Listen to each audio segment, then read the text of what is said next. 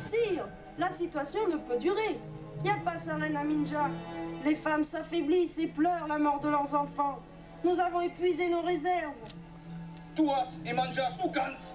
Tuer et manger les chiens, straquer les rats, faites bouillir de l'herbe. Nous ne céderons pas. Nous avons déjà mangé les animaux. Plus rien ne vit ni ne pousse.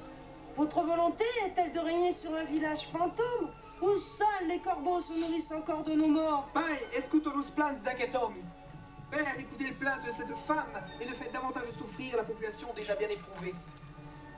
Je n'affaiblirai et n'aurai la lâcheté d'ouvrir mes portes aux Français. Qu'ils meurent aussi de faim et de froid, si ce n'est de mon épée. Le comte de Lys ne cédera pas. Vous, mon tendre époux, pouvez parlementer et trouver un terrain d'entente. Parlementer, avec des traîtres, des courants capables de pire massacres.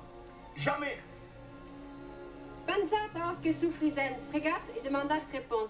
Songez à tous ceux qui souffrent, priez et demandez réponse. Qu'il en soit fait selon la volonté de Dieu. Que l'on fasse préparer ma garde et dresser un drapeau blanc. Nous sortons